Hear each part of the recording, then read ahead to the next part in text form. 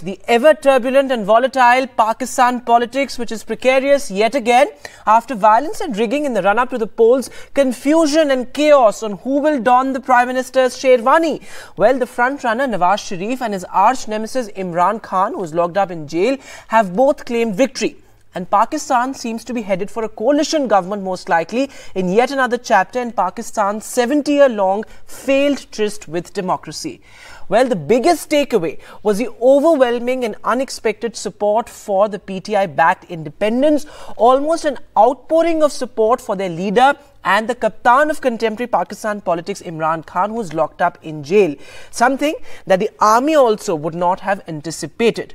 Now, with the army's script gone awry, a Nawaz led coalition with the tacit approval, approval from the military seems a foregone conclusion, but an outcome reflecting the popular public mood is unlikely. Before I get my guests in, take a look at this report to understand the big takeaways of the Pakistan story right now.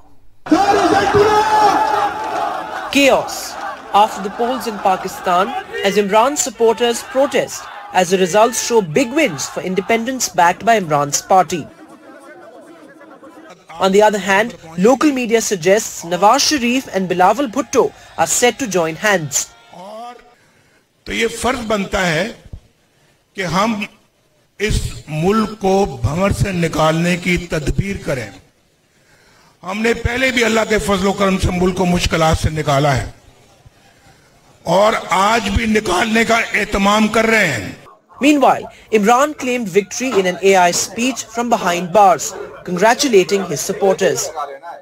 Nawaz Sharif एक कम जर्फ इंसान है जिसने official नतज के मुताबिक 30 seats पीछे होते हुए भी विक्ट्री स्पीच कर दी है। दो साल के सख्त जुल्म और नाइंसाफियों के बावजूद हमने 2024 इलेक्शंस दो तहाई अक्सरियत से जीत लिया है With results disputed and still not clear, more than 24 hours after polling ended, there have been allegations of vote tampering and condemnation from domestic and international critics. The US said it was concerned about allegations of fraud and interference in the election process. David Cameron said there were issues with the fairness and lack of inclusivity in the elections. The internet is still disrupted in areas.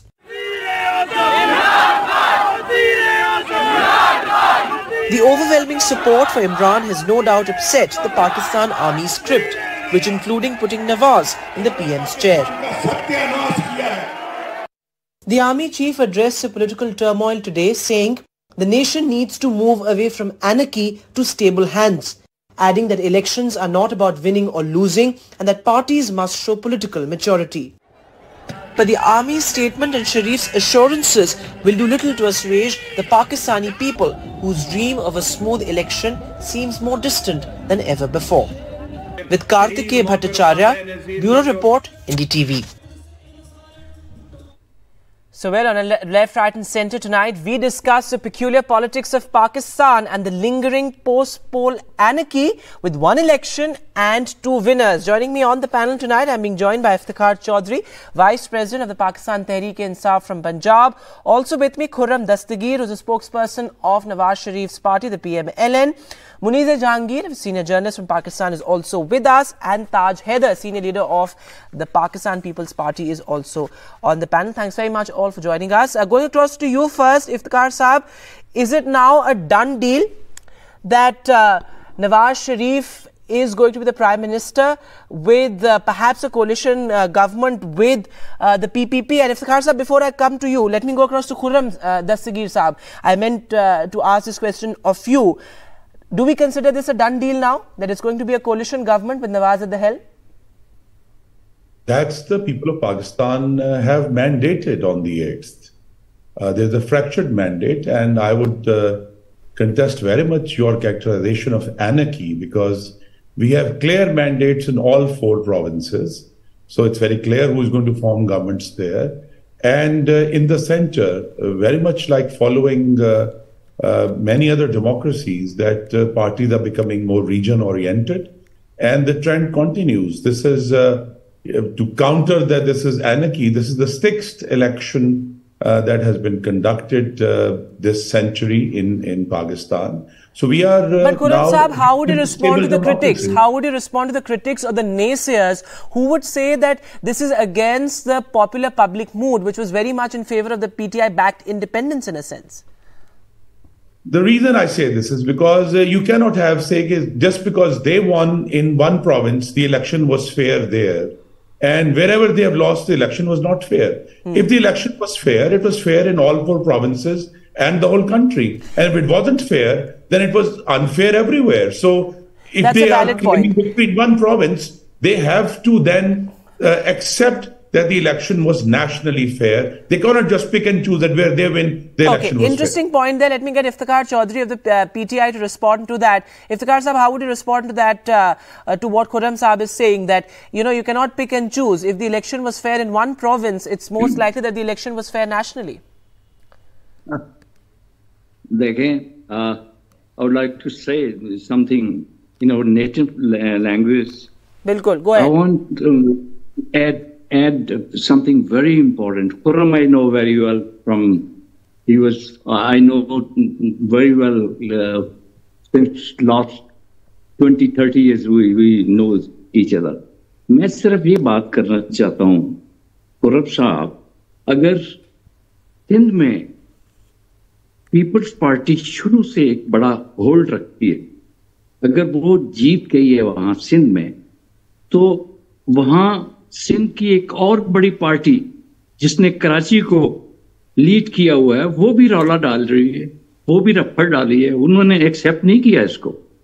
तो आप ये क्यों कह सकते हैं कि भाई एक रीजन ज़ाहिर है केपीके में शुरू से तकरीबन तीन कह सकते हैं आप पंद्रह बरस से हम लोग इफ्तार साहब जो चीज़ खुरम साहब ने कही वो ये कही कि अगर अगर आप ये कह रहे हैं कि एक प्रोविंस में जहाँ पर आपको मैंडेट मिला है वहाँ पर अगर इलेक्शंस फेयर है तो पाकिस्तान के बाकी प्रोविंसेस में फेयर क्यों नहीं है जहाँ पर पीएमएलएन को मैंडेट मिला है? ये ये ये मैं कह रहा हूँ कि पाकिस्तान के बाकी प्रोविंस में इन लोगों ने जिस तरह अपने कैंडिडेट को जितवाया है और पूरी रात तक वो हारे हुए लोग सुबह सवेरे उठने के बाद जब अपने आप को रिज़ल्ट देखेंगे तो उनको तो हैरानगी होगी। हम तो पूरे पाकिस्तान की पार्टी हमारा तो ये मेरा delay in the announcement and rigging allegation in the run to the certainly very concerning in fact been condemned by the US and UK as well I come to that Taj Haider of the PPP is also with Haider साहब आप बताएँ how do you look at the outreach from Nawaz Sharif कई लोग ये कहेंगे कि भाई अब just to keep Imran out of the game ये मिलिट्री की स्क्रिप्ट है and it was something which is perhaps unimaginable some years ago. You know, the, uh, Nawaz Sharif and Bilawal Bhutto coming together. Perhaps many would, uh, many outside of Pakistan would see this as completely unexpected. Now, uh, our objectives are very clear. We want to bury this uh, hatred and uh, revenge and all those negative factors. We want to. our politics is politics of unity and the economic objectives are very, very clear. Pakistan is suffering economically. Uh, there is unemployment, there is inflation, and there is poverty. We have given a program to the nation on how to uh, combat these problems and how to come out of this uh, economic mess. And uh, our negotiations uh, with Muslim League or with any other party are based on uh, these two aspects. One, uh, that uh, we have to unite.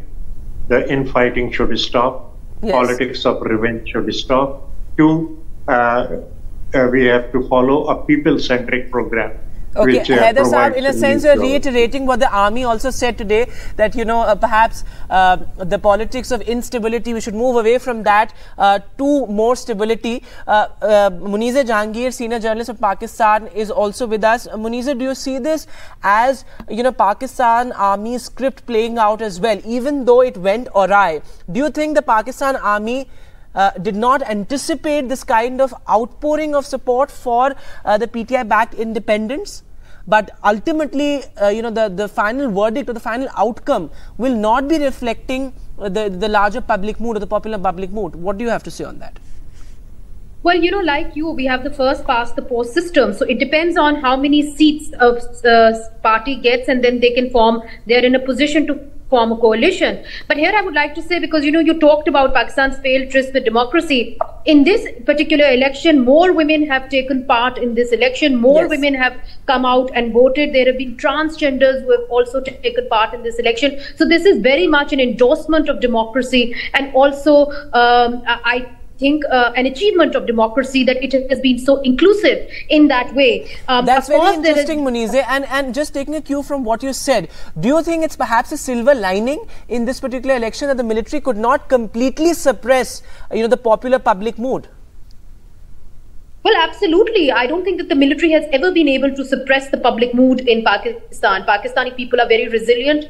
And they have been very vocal in their uh, in, in in in how they believe that the military should go back to the barracks and let the civilians, let the politicians govern Pakistan. And that has been consistently the way people have voted in Pakistan, whether it be for Benazir Bhutto after she was killed in 2008, whether it was for Nawaz Sharif in 2013, and whether it was Nawaz Sharif again in 2018. Let me tell you that Nawaz Sharif had fairly and squarely won Punjab, and Yes. Punjab was stolen away from them, and independents were cobbled together in order to form a government by the PTI um, in 2018. And now, now tables have been reversed, and we see Imran Khan in jail and Mia Nawaz Sharif uh, quoted as being somebody who's favored. But Absolutely. I do as you said, Munize, as you said, Munize, that you know uh, the military has never been able to completely repress the public mood, but ultimately it is the army calling the shots and pulling the strings. Iftikhar Chaudhry, how would you respond to that? Uh, to, to people who say that Nawaz Sharif struck a deal with the army, uh, you know, his homecoming was a was a result of that, and now also this coalition that we are talking about, uh, the coalition in the offing, that would also have tacit approval from the military. How would you respond to that? देखिए जी, जहाँ तक पाकिस्तान की army का ताल्लुक है, इसके सियासतदानों के साथ, किसी एक के साथ अच्छे ताल्लुकात एक वक्त में रहते हैं, दूसरे वक्त में ताल्लुकात खराब हो जाते हैं। जैसे एम क्यू एम के साथ ताल्लुकात काफ़ी हद तक खराब रहे और जनरल जिया ने एक एम क्यू एम को खड़ा किया और इस इलेक्शन में कराची में वो एक बार फिर उभर के आए हैं। और बल्कि मैं वो पहले भी बात कर चुका हूँ कि कराची की रियल रिप्रेजेंटेशन तो जमात इस्लामी के पास है। जी। तो उन लोगों को भी कुछ नहीं मिला और हमारे अपने लोगों को भी कुछ नहीं मिला।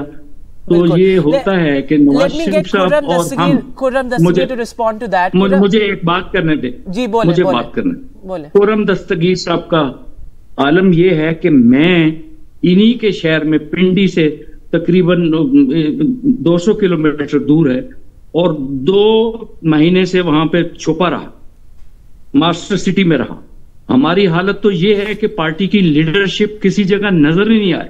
ओके सो सो कुरम कुरम साहब how would you how would you respond to that कि जो कि ultimately it's a military calling the shots and this coalition government is going to going to have tacit approval from the military and Nawaz Sharif has struck a deal with the military how would you respond to that Khurram Dastgir go ahead the struggle for civilian supremacy in Pakistan is not an overnight process. It's an event, and every election takes us nearer to the goal, uh, as is written in the Pakistan Constitution, uh, that after Allah Almighty, the ultimate power in this republic will be in the hands of elected representatives.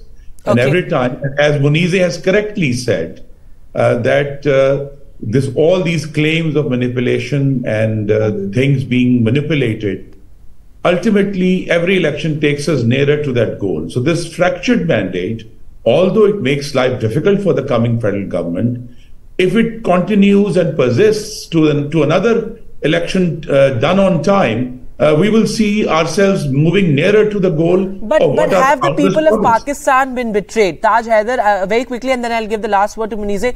Uh, Taj Haider, do you, do you think the people of Pakistan have been betrayed with the Nawaz Sharif uh, Yes. government now set to take over?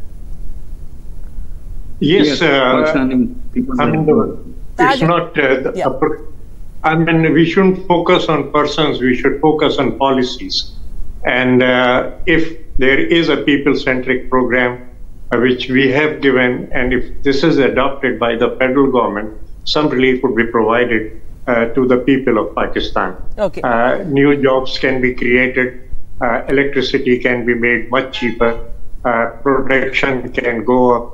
Uh, cost of production can go down. Exports can go up. Those And, are very uh, big statements, uh, Saj, business Saab, and how much of that is actually going to happen because Munize, uh, you know, this sort of political instability couldn't have come at a worse time for Pakistan, you know, given the economic uh, chaos and, you know, inflation, price rise, and those issues. Do you see Pakistan moving towards some sort of stability? Well, I certainly think that Pakistan will move uh, towards some sort of stability once there's a government at the helm of affairs. How long that stability will last is something uh, uh, that we will have to see. And it's usually not the politicians that cause instability in Pakistan. It's often military-backed uh, uh, parties or new parties that have caused that this kind of uh, instability. I would just like to also answer this question uh, whether you ask whether people's mandate has been stolen. Yes. Uh, at the moment, the way uh, the numbers are going, PMLN is the largest political party that has secured numbers. The next are the independents, and they are not all backed by the PTI. So it now depends So- on how, and you, India, knows how well. Uh, coalitions are done, but I'd just like to finish my point that actually the mandate will be stolen because people voted for PMLN thinking and expecting that Mia Nawaz Sharif will become prime minister and not Shahbaz Sharif. So now, if a different prime minister candidate is brought forward by the party, I Yes. think that's when people will be disappointed. Because many expectations will also have to be managed if it's going to be a coalition government. So, you know, there's no clarity as of now. But thanks for that perspective. Thank you very much, all of you, for joining us.